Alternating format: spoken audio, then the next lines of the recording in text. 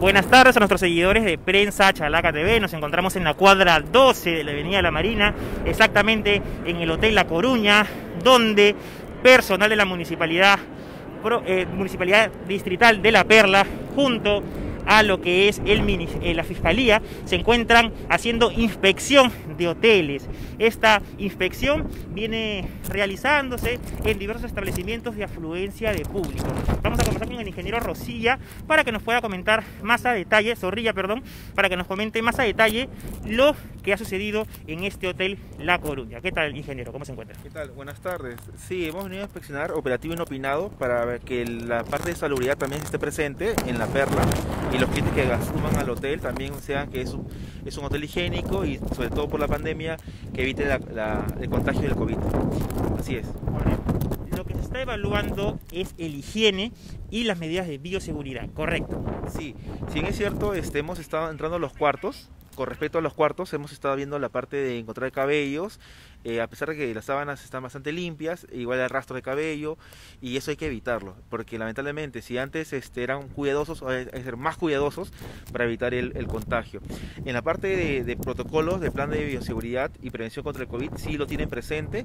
Las pruebas rápidas que han, podido mostrar eh, no, no tienen físicamente, pero sí las van a hacer en el, en correspondiente, porque lamentablemente el no, contar con la prueba rápida, por la reactivación, lamentablemente también es este, clausura. Entonces tenemos que tener cuidado también que si uno quiere ir a un lugar como restaurantes, como eh, eh, hoteles, entre otros, tenemos que pedir prueba rápida para la reactivación en este establecimiento.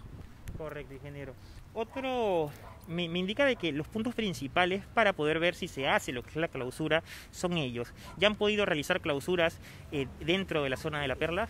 Sí, correcto. Este, en todo lo que hemos la pandemia, hemos estado en restaurantes.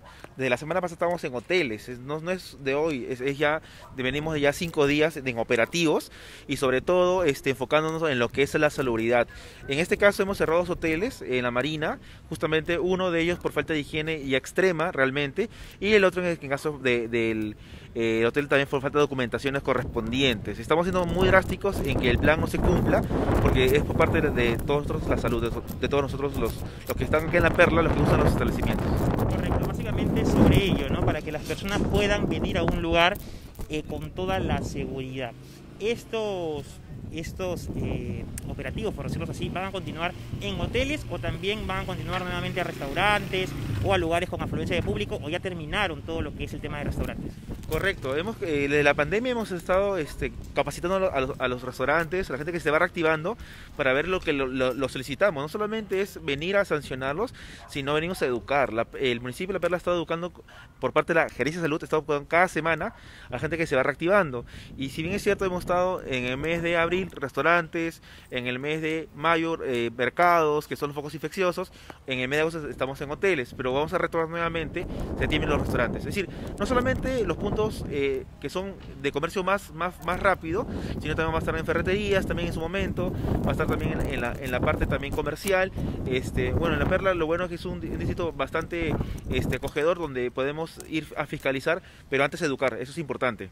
Es correcto. Es por ello eh, lo que entiendo es que se hace lo que es un seguimiento, un seguimiento a estos establecimientos para ver si cumplen, ya que eh, también hemos podido ver, observar, de que les dejan algunas recomendaciones y le dejan días para que subsanen esos errores.